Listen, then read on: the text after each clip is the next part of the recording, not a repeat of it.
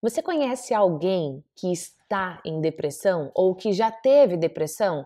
Você conhece alguém que, teoricamente, sem motivo aparente, está numa tristeza profunda? No episódio de hoje, nós vamos falar sobre como lidar com a depressão. Só que nós vamos falar em quatro passos práticos para você sair desse estado deprimido. E eu não estou sozinha, não. Eu estou aqui com uma mulher uau, porque sim, Hoje é o quadro Mulheres Uau.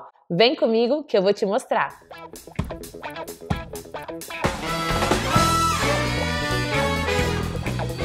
Uau! Seja bem-vindo a mais esse episódio para o seu desenvolvimento e hoje nós vamos falar de um tema muito precioso, muito profundo, que é como você pode lidar com a depressão. E tem uma pesquisa que aponta que a cada três pessoas, uma delas já teve tem ou terá depressão. Inclusive, se você quiser que eu fale mais sobre depressão ou também sobre ansiedade, porque depressão e ansiedade hoje é considerado mal do século. Se você quiser que eu fale mais sobre isso, já deixa aqui o seu comentário, hashtag depressão.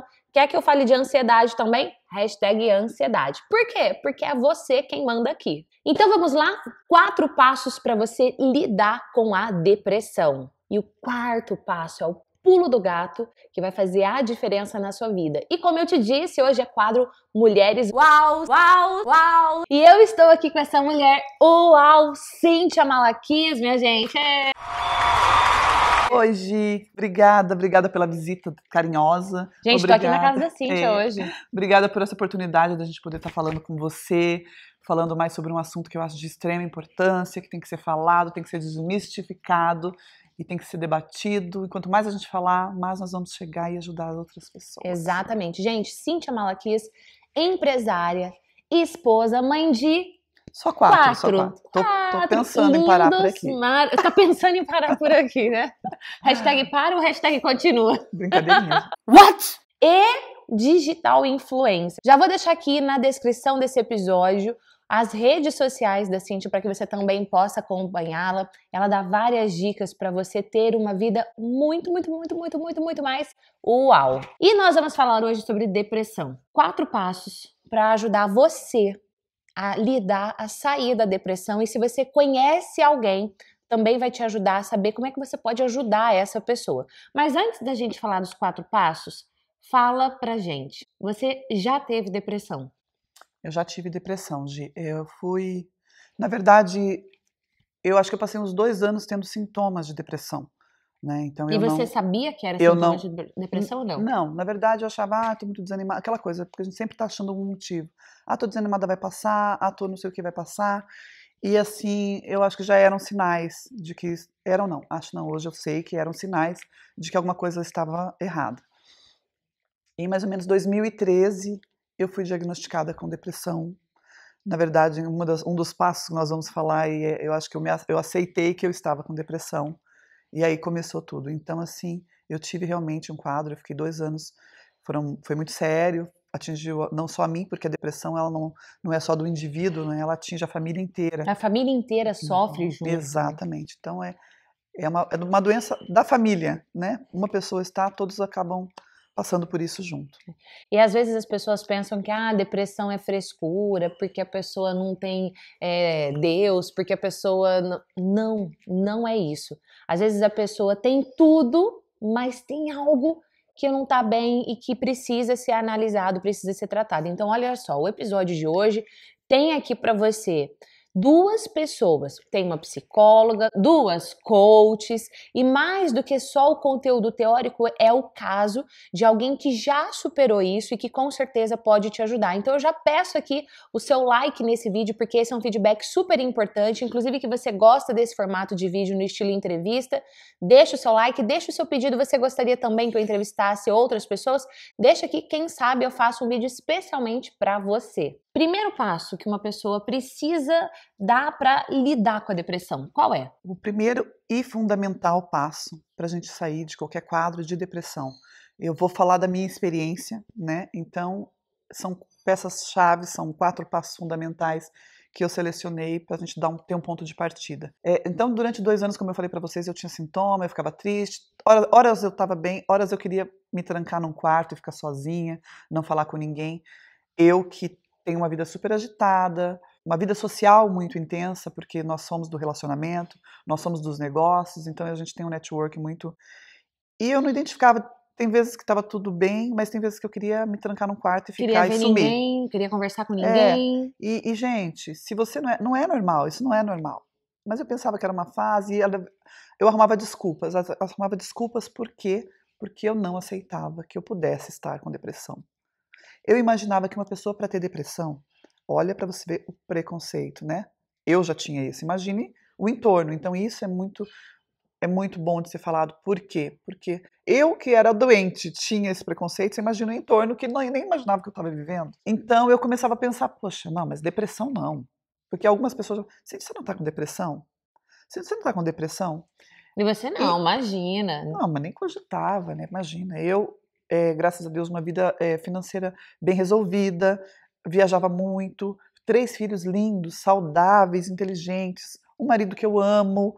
Então, assim, caramba, eu não posso. Por qual motivo, né? Tipo, Meu eu não Deus. posso. Se eu falar que eu tô com depressão, eu não posso estar com depressão, porque eu não tenho motivo. Para mim, alguém para estar com depressão tinha que ter perdido um ente querido, ou tinha que ter tido alguma quebra em alguma. Teria que ter tido um fato grave para ocorrer uma depressão. Então eu lin- linkava isso a um acontecimento. E não é, né? É, é, a depressão ela é algo químico que acontece no seu corpo, ela é explicado pela ciência, os médicos, e isso é então, assim, a gente acaba arrumando motivos mesmo para não aceitar. Então, o primeiro passo fundamental, aceitação. Você aceitar, eu estou com depressão. Hoje existem vários testezinhos na internet. Tem. 10 perguntas. Você gostaria de um teste? É, Quer que a gente é faça um super teste? Deixa aí hashtag teste que eu, Eu faço pra você. E você sabe que de vez em quando eu fazia isso escondidinho, assim, né? eu entrava. Deixa eu Bom, ver. de cada como é que 10 eu tô. perguntas, era mais ou menos, mais ou menos, eu não tô lembrada, mas assim, seis. Se você responder seis dessas positivo, você tá com índices de depressão. A minha dava oito. Eu falava, ah, não, mas, ah, mas não deve ser. Coisa pouca é bobagem, né? Né? Então, assim, a aceitação é primordial para que você aceite. Não, eu estou com depressão. Eu estou com depressão, é, e agora, né? E aí a gente já vai acabar entrando no é. segundo passo. E aí, antes da gente ir pro segundo passo, antes, se você é novo aqui nesse canal e você busca um conteúdo embasado cientificamente pela psicologia, pela neurociência, para você poder dar um basta na autossabotagem, para você fortalecer a sua autoconfiança, você tá no canal certo. Então, clica em se inscrever. Clicou em se inscrever, clica no sininho, porque assim, toda vez que tiver um vídeo novo no ar, o próprio YouTube vai te avisar. E agora, segundo passo. Primeira aceitação. Segundo. Aceitação. O segundo é atitude, uma decisão. Você tem que tomar uma decisão. Olha aqui minha vida de depressão. Olha aqui. Pet ajuda? Pet ajuda. Pet ajuda, gente. Só que escuta, na época eu tinha tanto filho, aliás, eu tenho tanto filho que eu esqueci um pouco do pet. Mas, Mas, ó, é assim- uma dica mesmo. Tem várias pesquisas que para você ajudar a sair da depressão, você ter um animal de estimação, com animais. porque eu digo que o, o animal de estimação ele traz à tona a sua melhor versão. Às vezes você tá de mau humor, bravo, aí você encontra Tem esse como fala, não "Ah, sorrir? Meu Deus, que É. delícia! E aí traz a sua melhor versão. Então aí é uma, uma dica para você. uma dica. É. Mas então, segundo, a decisão. Então, quando eu, eu me, me conscientizei de que eu estava com depressão, tem, claro, todo mundo tem aquele seu período de luto para qualquer situação ruim na sua vida. Então, assim, não é que, ai, eu estou, não vou chorar, não vou ser. Aceitei, chorei as mágoas, fiquei isolada por algum tempo. É, é até interessante, uma vez me perguntaram, Cíntia, mas quando que você percebeu que você estava ruim, doente? Falei, quando? Quando eu quis sair da minha casa, deixar minha casa com os meus três filhos, com meu marido, com todo mundo, e me isolar. Eu fui para um, pra um lugar, um spa, uma coisa, e fiquei 30 dias longe da minha casa, longe de todo mundo. Longe. Então, assim, eu estava querendo ficar longe das coisas que eu mais gostava, das coisas que eu alguma mais coisa amava. tá errado. Tava e estava muito grave, estava muito sério. Aquilo não, não ia ter um desfecho legal se eu não tivesse tomado uma atitude, que é uma decisão, uma decisão de mudar. E, e eu acho assim, tomou essa atitude, tomou essa decisão, o que que eu preciso fazer, o que eu posso fazer para sair desse quadro. Então, assim, a aceitação de estar doente, mas nunca aceitar ficar doente, né? Eu acho que isso é fundamental.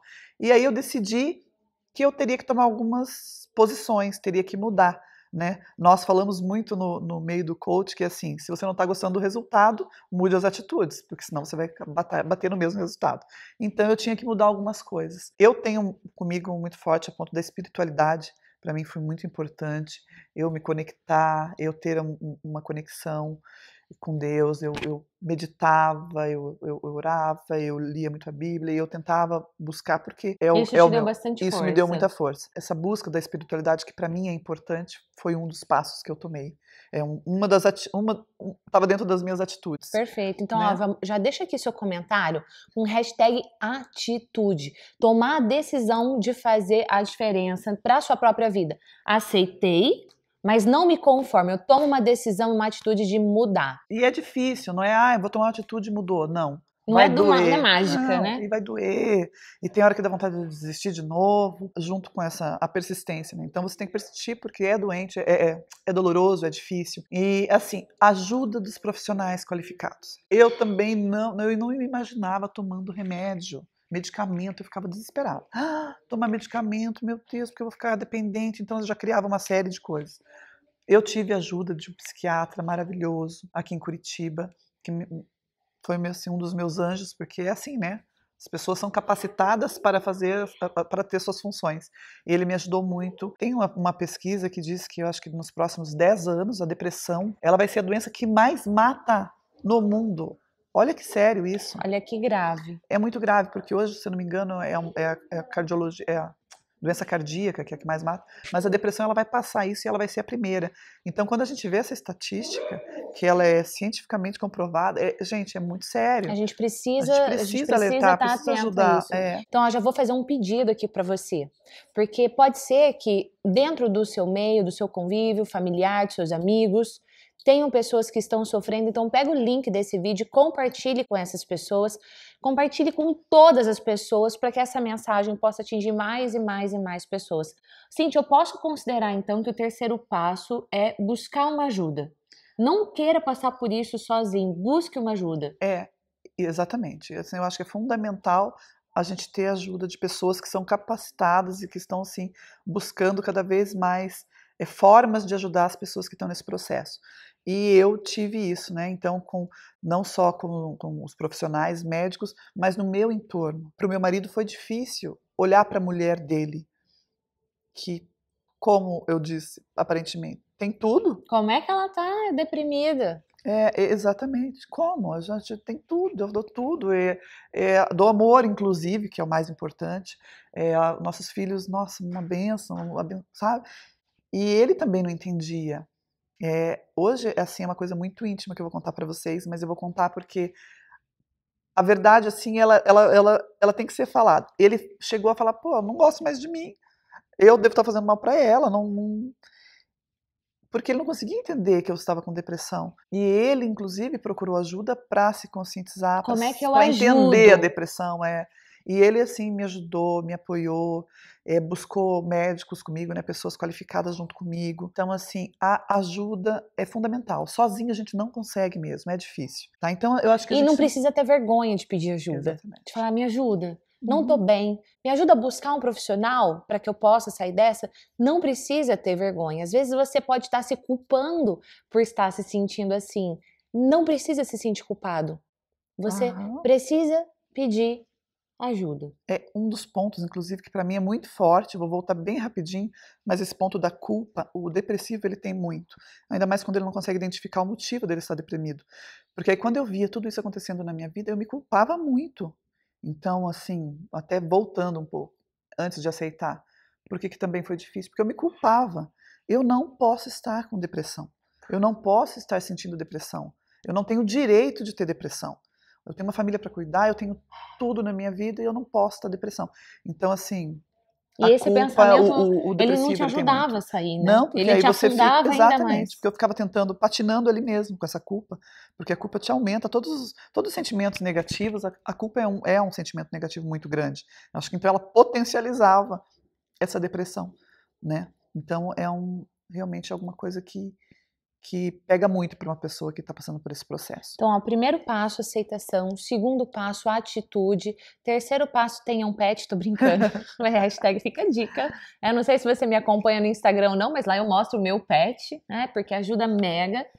Terceiro passo, busque ajuda. Quarto passo. Não olhar para trás. Porque também durante um tempo, eu, quando eu estava bem já, eu ficava assim, ixi, ai, se eu ficasse um dia mesmo, eu falava, ai, se eu voltar da depressão? Então, um medinho. Aí eu aprendi, com minhas próprias experiências, a não olhar para trás. A não ser que for para fazer isso que a gente está fazendo aqui. Para ajudar alguém, para dividir experiência. Então, assim, é uma busca, é um resgate que eu faço com pro um bem, propósito com um propósito, maior. exatamente. Assim, porque eu vejo tudo isso como uma grande lição, como um grande aprendizado. Então, assim, é para isso só. Porque eu conheço pessoas que Aí volta e meia voltam ali, ah, mas não, passou, virou. E eu vou contar também que teve uma amiga que uma vez eu falei, eu estava, ai, eu tô tão bem, mas às vezes eu tenho medo. Ela olhou para mim e me disse, Cintia, passou, acabou, aquilo é página virada. E eu aprendi nesse dia esse quarto passo, não olhar para trás. Vamos para frente, vamos para frente, aquilo já passou, a não ser que seja para ajudar alguém, esse assunto não é mais tocado, não é mais, sabe? Porque a gente sofre com algumas pessoas que não entendem, elas fazem muito mal para o depressivo. Então eu também sofri com isso, com pessoas que, ah, mas é uma fresca, hum. ah, mas é isso, sabe? Então, Uhum. assim, tem gente de todo tipo, né? Então, assim, é- é- são coisas que as pessoas não sabem o quão mal estão fazendo para uma pessoa que está doente, né? É uma doença. Perfeito. E sabe uma palavra que a Cintia falou várias vezes? É estar. Você não nasceu para estar desse jeito. É uma fase.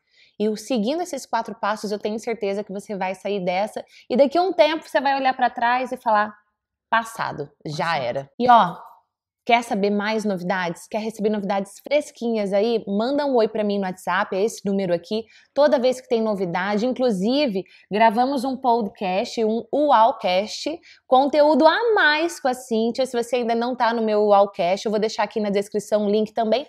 Mas sempre que tem novidade no UAUcast, de palestras, eu mando para você na minha lista do WhatsApp. Então tá aqui o número, só você me mandar um oi lá que eu mando um recadinho especial para você. Não é grupo, tá bom? Não é grupo no WhatsApp, não. É só uma lista de transmissão. Quando tiver novidade, eu mando um oi para você. Cíntia, pra gente encerrar a mensagem do fundo do seu coração para quem tá aqui nos assistindo agora. Uma mensagem muito importante para você que está passando por um momento parecido, ou você que tem alguém próximo passando por um momento parecido. Ajude, estenda a mão. é, você que está passando, tome essa atitude. É, não tenha vergonha de dizer que não está bem. Geralmente, quando a gente está nessa posição, eu, como, por exemplo, como uma mãe da família, a gente acha que né, o esteio da família não me permitia estar. Sim, e as pessoas te veem mais forte ainda depois que você abriu seu coração, que você disse da sua fraqueza, porque você está buscando melhorar e, e a sua vida é muito valiosa. E tenho certeza que você é muito valioso onde você está. Talvez o momento não esteja esteja tudo meio embaraçado e a gente não consiga enxergar bem, mas assim, conte com as pessoas ao seu redor, busque ajuda, siga os quatro passos assim. E, e é isso, gente. Vamos, vamos enfrentar aí que isso aí é uma doença, mas nós somos muito mais fortes que isso. Nós nunca somos depressivos, nós estamos depressivos e vamos podemos sair da situação facilmente não, né? Porque a gente sabe que não é fácil, mas nós podemos e somos capazes de sair dela. Amei! E eu encerro esse vídeo dizendo isso. Você é capaz de sair da depressão, você é capaz de superar os desafios da sua vida. Cíntia, muito Obrigada. obrigada! Amei, Obrigada, gente. Quer mais Cíntia? Deixa aí hashtag volta Cíntia, porque a gente traz aqui mais bate-papo com essa mulher uau. Beijos e a gente se vê no próximo episódio. Tchau!